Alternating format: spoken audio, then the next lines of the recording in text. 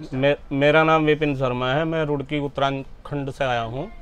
मैं भगवानपुर रायपुर उत्तर industrial area में एच एग्जीक्यूटिव पर फ़िलहाल हूँ। और मैं लगभग आठ साल से इस रोग से पीड़ित हूँ। क्या रोग है आपको? किडनी प्रॉब्लम है दोनों किडनी। लगभग 50 परसेंट डैमेज बता दी थी डॉक्टरों ने।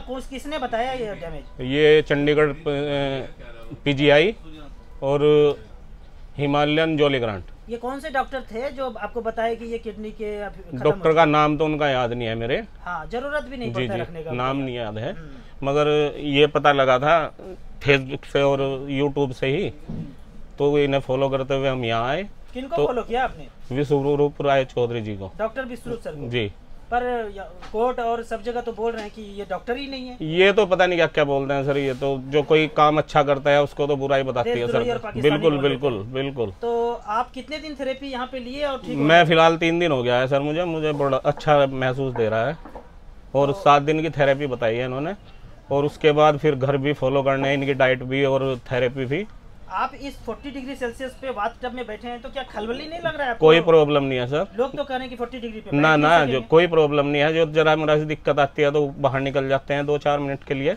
वैसे कोई प्रॉब्लम नहीं है। तो ये बाथ टब आप घर में लगाएँगे? बाट टब बिल्कुल लगाएँगे सर कितनी देर करेंगे घर में? दो घंटे से ढाई घंटे।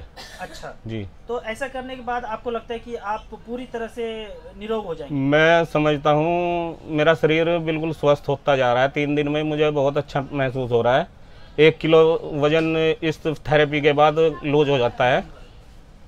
तो अब आपको अगर मोगेम्बो वाला डॉक्टर कोई बोले कि दवा खाओ ना ना चक्कर में ही नहीं पड़ना। चक्कर नहीं पड़ना। मोगेम्बो के बिल्कुल डॉक्टर के चक्कर बिल्कुल नहीं चक्कर में पड़ना जी। नाश हो गया नौ दस साल हो गए तो चक्कर दस में पड़ता। कितने पैसे लुटवाए कम से कम पच्चीस लाख रुपए। मोगेम्बो ने आपके पच्चीस लाख रुपया लूट लिए। पच्चीस लाख रुपए और यहाँ कितना खर्चा कर रहे हैं? यहाँ तो यही है आठ हज़ार के। तो दस दिन साठ हज़ार रुपए मान साठ हज़ार मान लो। साठ हज़ार में पूरा पैकेज बन के बिल्कुल। अच्छा ये कहते हैं कि बहुत लोग की ये बहुत महँगा हॉस्पिटल है पर इस आठ हज़ार में आपको खाना भी है रहना नहीं महँगा नहीं कह सकते सर। थेरेपी ऐसी ऐसी दे रहे हैं इन्हें महँगा भी नहीं बता सकते।